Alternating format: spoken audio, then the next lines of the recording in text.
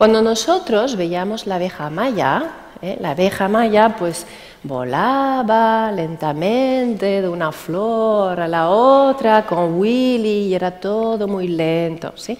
Y ahora están rehaciendo muchos de los contenidos que nosotros veíamos de pequeños, pero a una velocidad vertiginosa. ¿eh? ¿Qué pasa? Que el niño se acostumbra a esa velocidad, ¿eh? que no existe en lo ordinario que no existe en el mundo real.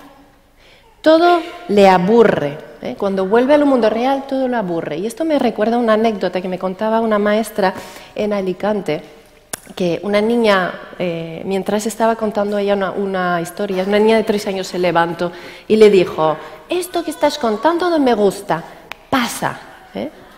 pasa.